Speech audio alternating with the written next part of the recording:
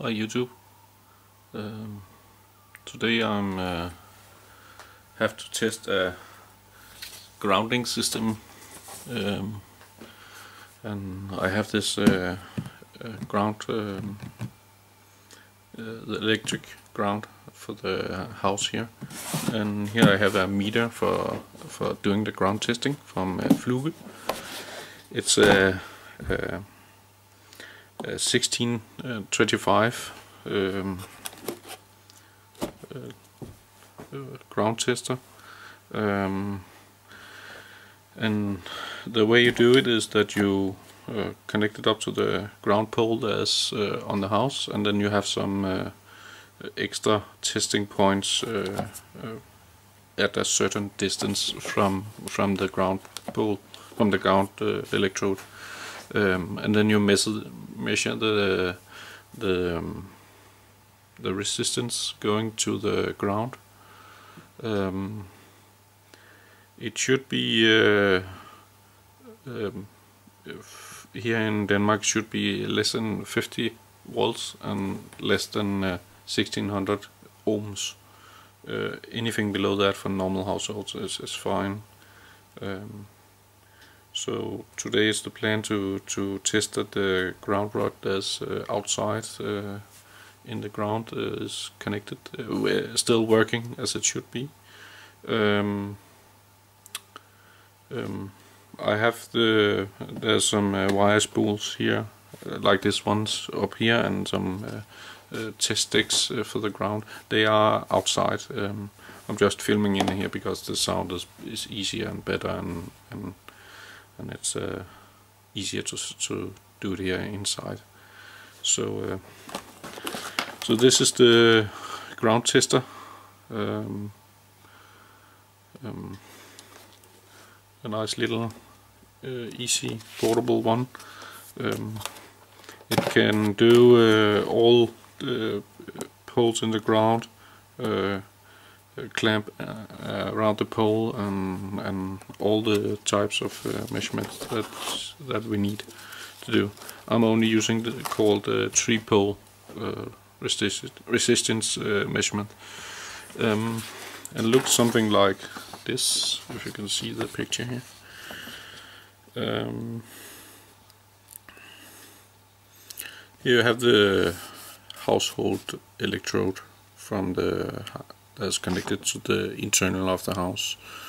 Um, and here you have two extra probes and you can see down here you place them at a, a certain distance between each other and then you make a measurement up here and it's telling you uh, by sending signals down to the to the electrodes the, this one and this one and then it's reading the signal on the center probe and then it can uh, calculate uh, how much uh, how much the resistance to ground is and, and how good the electrode is.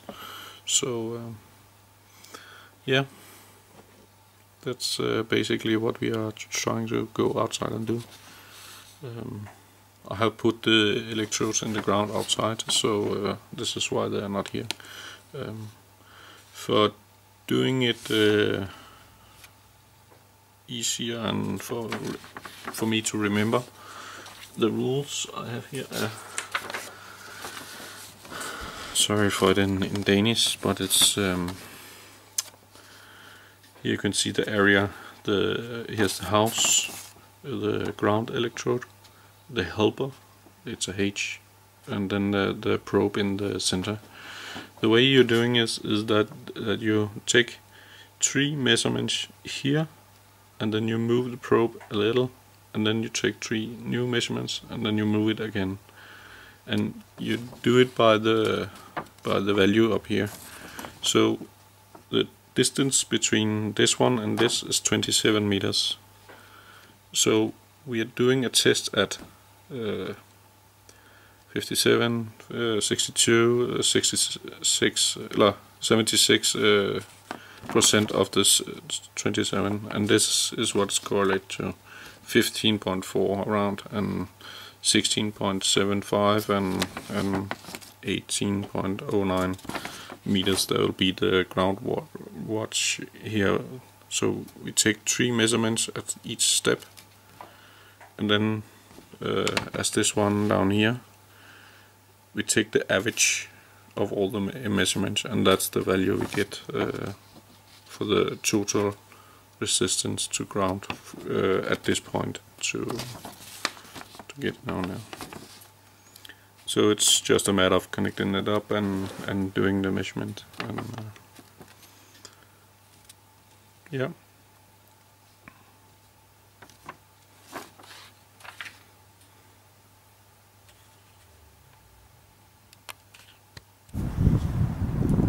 So here's the ground test is set up to the, the house uh, electrode. And down here you can see the the 77 eller 27 meters um, the, the left the bottom one is the helper electrode. The three one in the middle is the poles for the for the uh, the probing electrode. Um, I've just marked them with paper so it's easier to see. And you can see here. The sticks that's put into the ground. Um, and then there's a wire connected to it. Going all the way back to the to the meter on the corner. So let's take the first measurement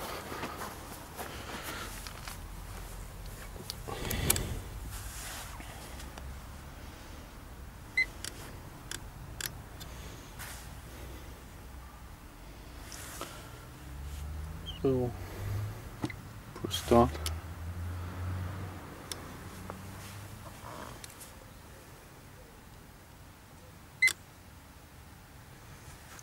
Forty three point forty one point three. Forty one point three. Do another one.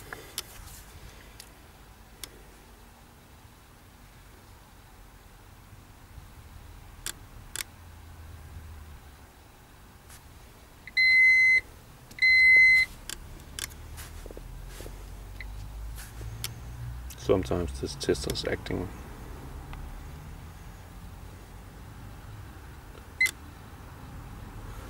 Forty one point four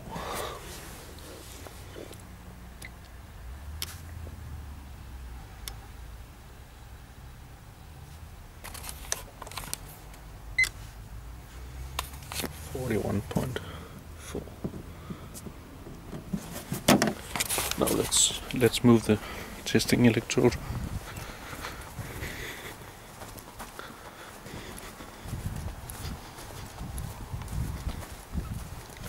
This is the three points we have to do, three steps test on, on each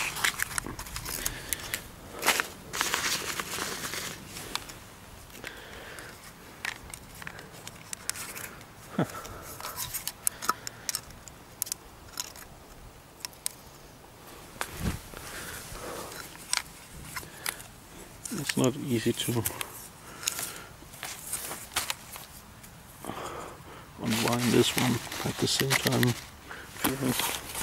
This is the center point now let's take three more measurements at that point.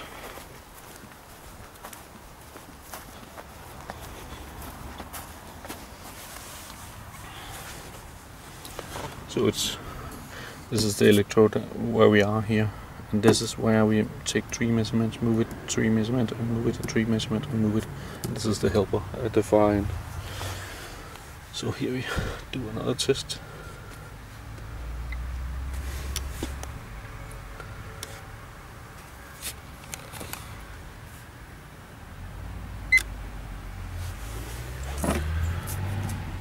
Forty-one point six.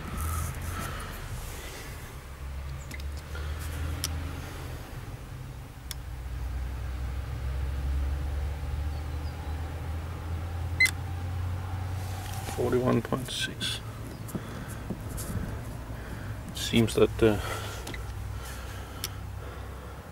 testing result is very close here 41.6 so now we have to move it to the last point.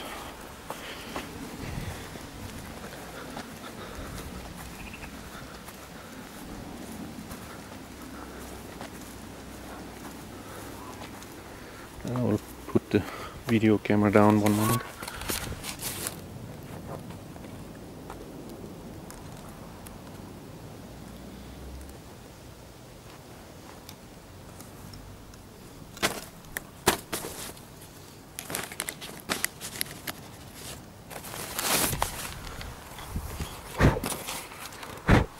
So this is now the last point of the three points.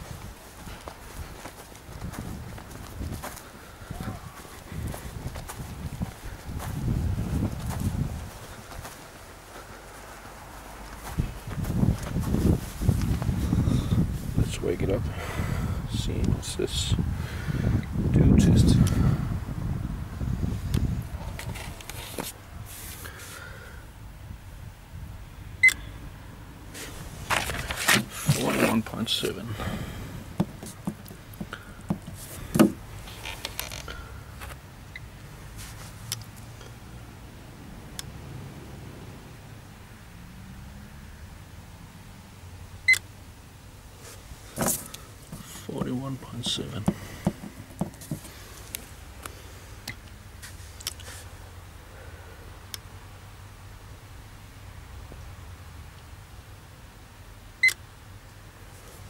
Forty-one point seven. So now I just have to make the average of the nine measurements. that's the result for the for the round. But I will um,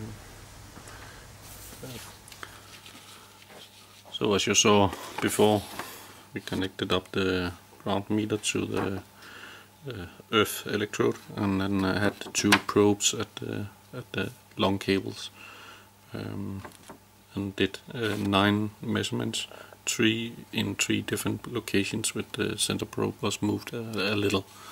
Um, to make it easier, I used three different uh, test uh, rods in the ground, so I just had to move the clip and don't move the uh, rod and, and so on and remember the correct location and so on. So um,